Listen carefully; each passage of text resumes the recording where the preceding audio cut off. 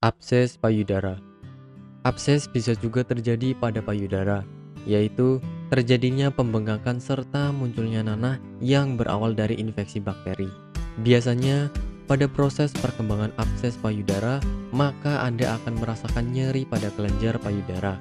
Ketika pembengkakan mulai terjadi, kulit bagian luar bisa saja terlihat biasa, tetapi pada beberapa kasus juga bisa muncul warna merah.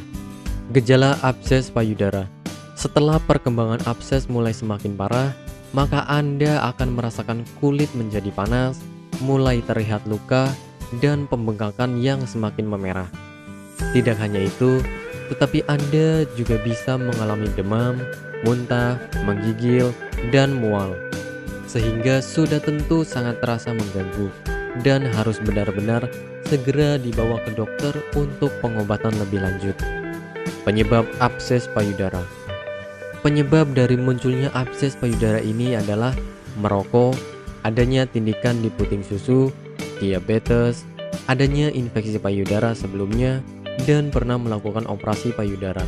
Jika Anda menemukan payudara terasa sakit, bengkak, dan kemerahan, maka sebaiknya segera menghubungi dokter untuk melakukan konsultasi lebih lanjut untuk mengetahui gejala pengobatan abses.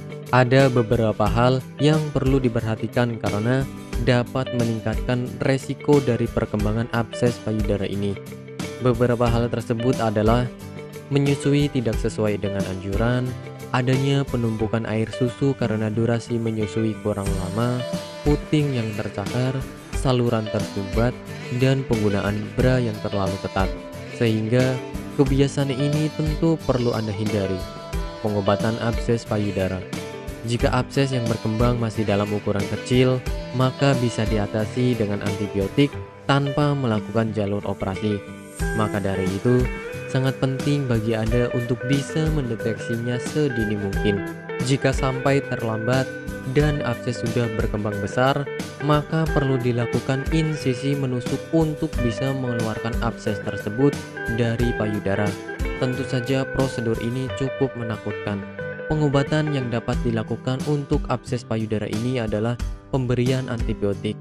Selain itu, bisa juga dilakukan pengeluaran nanah menggunakan jarum suntik, melakukan prosedur vakum asisted biopsi, atau mengeluarkan nanah dari payudara menggunakan bantuan kateter sebagai langkah membantu meringankan kondisinya.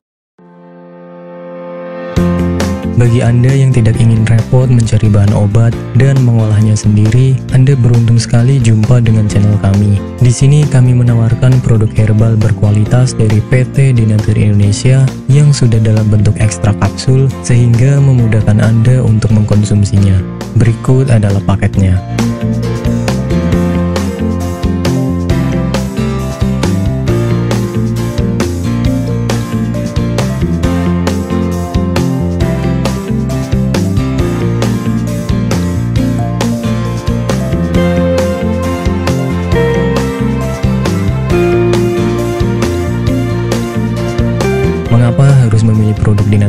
Indonesia karena hanya kami yang memberikan produk berkualitas untuk Anda.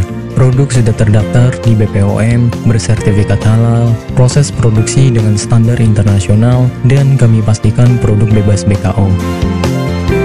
Demi menghadirkan produk bermutu dan aman dikonsumsi, Denatur Indonesia selalu mendaftarkan produk-produknya di Badan POM. Denatur Indonesia juga memberikan perlindungan kepada konsumen dari zat haram dalam suatu produk dan etika produksi yang benar dengan hadirnya sertifikat halal ini. Tak hanya itu, kami juga menerapkan SOP dan proses produksi berstandar internasional ISO 9001 demi menjaga mutu dan kualitas produk. Kami pastikan pula produk Denatur Indonesia 100% terbuat dari ekstrak bahan herbal tanpa sedikit pun campuran bahan kimia obat dengan adanya hasil lab ini. Anda juga bisa dengan mudah mendapatkan produk kami di berbagai marketplace atau e-commerce Indonesia dan di berbagai platform sosial media maupun website. Pengiriman ke seluruh Indonesia dengan distribusi paket yang cepat serta pilihan jasa antar yang banyak sesuai dengan kebutuhan Anda.